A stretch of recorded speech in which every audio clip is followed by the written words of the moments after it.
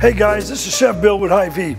Today we're gonna do a pork ribeye steak. You say pork ribeye steak? Well, sometimes when you're cutting the pork loin, you're gonna get those little fatty pieces with little bits of fat in the center of it rather than those lean pieces of center cut pork loin. I like the little fatty ends. This is what we have over here. Look at it. These are the pork tenderloin other part. You see part like that, people I don't like that, too much fat. If anybody likes ribeye steak like I do. This is the ribeye steak of the pork loin, all right? And that's what we're gonna kind of do, all right? So we're gonna take that baby there, and we're gonna go ahead and brown them. And I'm gonna employ a different pot because I want something bigger. And a little more oil to this.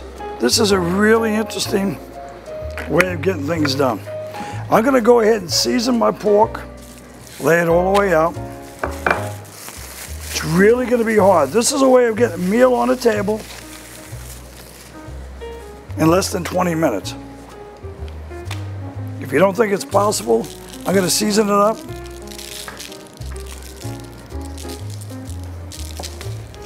Flip it over. Notice the mess I'm not making on the counter. Seasoning. All right. All right. That's ready there. My pan hopefully is going to have some color.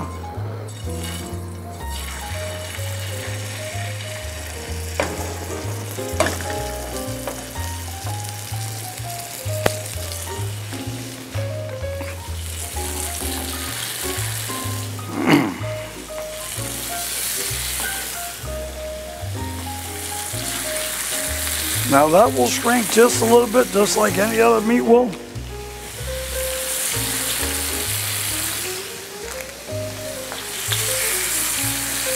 All right, we're gonna leave that right on it just like that. Roll the garbage out. you know, there's nothing special or fantastic about being a good cook. All we're doing is letting the pan do the work. Got a little oil in there. It's sitting in there, swimming around, having a good time. And you know something? We're gonna get some color on there. I just want to get some color on there. It's not going to take long. They're only about a half an inch thick, which is good. So we're just going to let that sit and get happy while it's doing that. And I may drain some of that oil off of there, which I think I will. I'm not going to do that right into this pan here.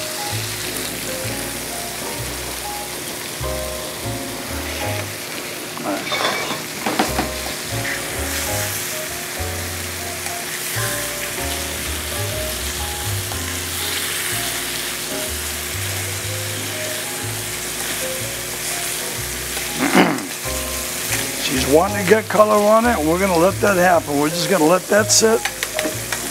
I'm going to put the lid on it just for a couple of minutes and let that go.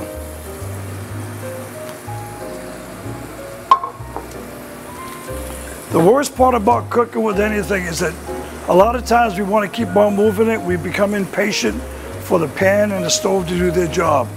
Let the stove do its job. Let that meat sit so it's a good, good sear on it and it comes out looking good. And when that happens, the pan's gonna do it. Again, we're not gonna overcook this pork. The pork, the pork itself, you want it to be tender and juicy. Bring it to 155 internal temperature if you don't like the red. Bring it to 155, you won't see any red color, and I guarantee you it's gonna be the best pork and the most tenderest pork that you've ever put in your mouth. Because that's what it's all about. Enjoying the flavors, it's coming up.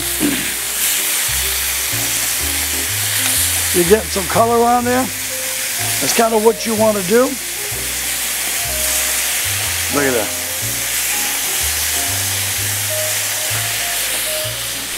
Now the hardest part of the day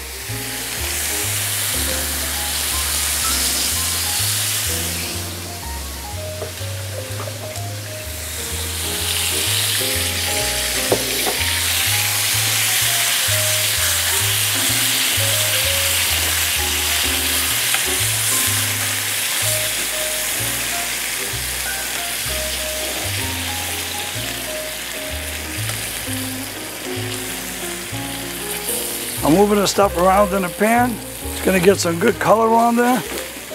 We're just gonna let that get buried. Look at that, gorgeous that is. We're gonna put the lid on it and let Mother Nature take care of the rest. It's gonna take all of about five, maybe six minutes for it to come up. And you know something? You got your entree done and everything's ready to go on the table. Not hard to do. It's all made in a jar. It's a chunky, it's a medium. I use medium because you want to pull out the flavor. All right. We had salt and pepper to the pork, a medium chunky salsa, and that's kind of the flavor that you want. And we're gonna go with that one there. As you can see, it's cooking them nicely. The bubbles are coming up. It's gonna try and reduce a little bit. That's fine, it concentrates the flavor. And it's actually braising it inside the, the salsa. That's kind of what you wanna do. Just let it go. Mother Nature will do the rest. All right. All right, guys, let's take a look at our pork, which has been dancing in this pan. It's fantastic. All right, I know it's tender, it's juicy. It's only cooked for about five minutes on the second side. Look at that, that's ready to go. I'm gonna take a temp on it, so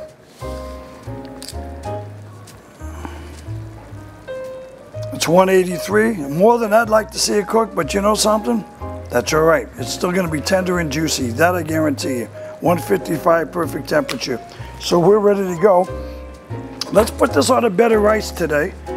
and we're gonna put that on and angle it up. Later. Is dinner on the table tonight or what? I got dinner ready to go.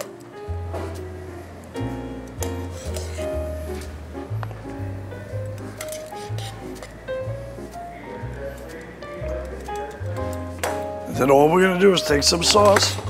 You got all your sauce over here and just pour it over. How much work did you do? Is that not a good looking plate of what? That's kind of what you want. Guys, we're gonna give that a bite, see what it's all about. And if I don't like it, I'm gonna quit. But I think I'm gonna like it. All right, we're gonna take a little bite of this. Look at that. Not overcooked, it's still juicy. See the juices running out of it? But it's not pink. You got good flavor in there. And you know something?